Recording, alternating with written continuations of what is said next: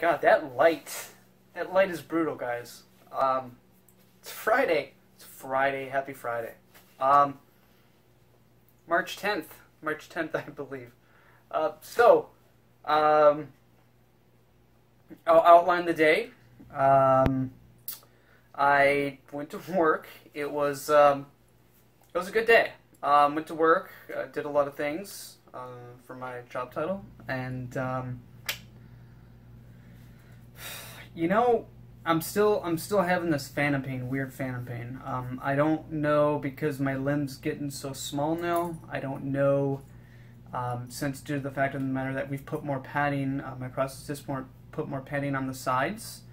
And uh, what I mean by the sides is down at the base. So he put a lot more padding on there to, um, because what he found out is when he was pushing the sidewalls back like this to prevent the leg bone from scraping on the front of the socket, um, what was happening is at the bottom, the bottom of the leg was like doing this. Uh, I'm gonna I'm gonna call it a mushroom effect. So it was actually doing this, and um, what was happening is that I was pulling my leg out and it was sounding just like a plunger um, freeing itself from water. So um, he put more padding up and around it, so therefore it create like a uh, nice cone.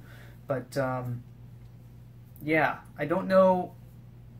I don't know if that has anything to do with that. I'm sure it does because you know the limbs being pressed in a different way, and that can affect the nerve endings. So I guess it's that. Um, just staying on my gabapentin. I'm still on gabapentin, guys. I'm still on gabapentin, uh, amitriptyline, um, gabapentin and amitriptyline. Um, that's pretty much it. Uh, gabapentin's still at 900 milligrams, and amitriptyline is uh, 50 milligrams. Uh, the gabapentin's three times a day, by the way. and Amitriptyline is once at night. So um, that's you know that's that. Um, other than that, I mean, socket's feeling great. The adjustments that were made on Tuesday are still holding up, which is good. Um, the longer the adjustments are holding up, which is good, that means the limb is basically changing shape less. So, um, obviously, as time goes by, it's going to get more easier for that in terms of not needing more adjustments or what have you. So, but other than that, I'm filming this right before I work out. It's about 7 p.m. right now, Eastern Standard Time, and uh, I figure I get on the exercise bike and try to tire myself out so I can sleep because uh, I have to work tomorrow. So um, I'm thinking I can get. I'm gonna try 15 miles, maybe. Um, you know, I did get 20 miles one day, so you know, I'm gonna see.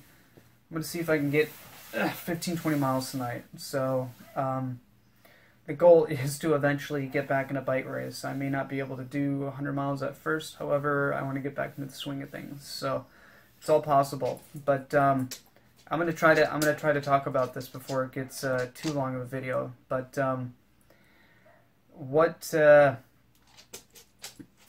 basically I'm gonna I'm gonna title this video what what is uh, what is your drive and uh, a lot of people see me and they say, you know, you're doing uh, you're doing awesome, you're doing great, which I am. Um, not saying that to be ignorant, but um, I'm doing great. No, in the timeline that I'm doing, um, you know, for it's going to be almost five months. Um, I'm walking retrospectively to the point where people cannot tell that uh, I've had an amputation. Um, however, that's taken a lot of work. And um, where where did the drive come from? Where does the actual as the dog's making noise. Uh, where where's the actual drive itself coming from? And all I can tell you, folks, is that when I was younger, if you watch the very first video, you'll see all this. The very first episode when I originally started filming this. But when I was younger, I was through all that stuff, and um, it really. Um, I follow the weightlifter called CT Fletcher, which you'll see in a couple of the videos if I start, you know, video episode one, two, three, four, five, six. Um, I highlight his enthusiasm and what he's basically done for me. And uh, he also had something health wise that happened, you know, um, uh, I believe it was a valve that blew out in his actual heart. And uh, he could very much well die by staying weightlifting, but he'd rather weightlift than you know try to sit in a chair and basically die that way. So, um, but he says in worst cases like that, where people can do stuff where people didn't think in the first place could actually be done, is because people are put in a position where they actually have to think and react in a way that a normal person can't think of it. And I'm not saying that, uh, you know, to diss anyone, but you know, if you're put in a circumstance where it's either life or death, or you're gonna sit, you're gonna sit and not do anything for the rest of your life, or you know, someone just gave you a really bad health reasoning. Um, you have to find a way to, you know, dig deep. Um, some, you know, you just you have to find a way to dig deep in the order to um, get the ball rolling again. And what I can remember is that I was, you know, I was young and I was through so much stuff. And the part, you know, I did, I did go through an emotional phase where I did cry. I, I cried. I, before I did all those videos, you know, there was, there was loss and acceptance. And I think for the first, my operation was on October, but uh, July, August were pretty much the uh, worst months for me because I, you know, I blew out my knee. I had to recover from it, and then we went to the doctors, and every single doctor